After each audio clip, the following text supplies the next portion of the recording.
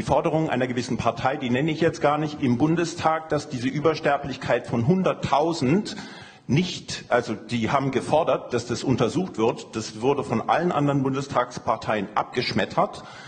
Und das war noch das letzte. Ja, vielen Dank. Aber jetzt würde ich Frau Kliche-Behnke noch. Äh, ja, jetzt muss ich mal aus einer parlamentarischen Sicht sagen, in der Tat, alle Anträge, die von der AfD kommen, werden aus Prinzip sowohl im Landtag als auch im Bundestag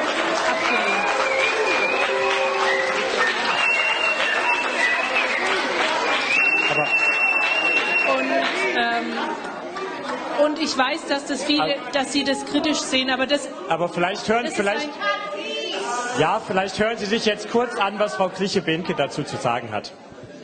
Äh, Das ist aus einer Grundüberzeugung und äh, das hat auch äh, damit zu tun, warum viele Menschen in diesen Tagen auf die Straße gehen, weil wir noch auch gerade ähm, Sorge um unsere Demokratie haben und das aus unserer Sicht relevant ist. Aber ähm, ich habe jetzt verstanden, dass Sie aus politischen Gründen sagen, dass diese Anträge ähm, äh, der AfD generell abgelehnt werden.